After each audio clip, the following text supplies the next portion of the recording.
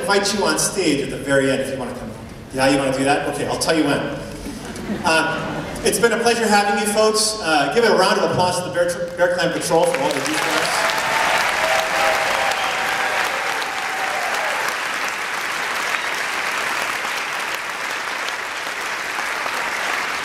And of course, the Luminous String Quartet.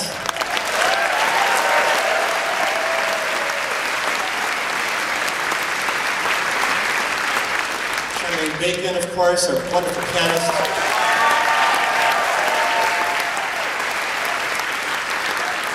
And, of course, the illustrious Mike McKay, who's up in the hall. He's gonna clap. We're to clap for you, Mike.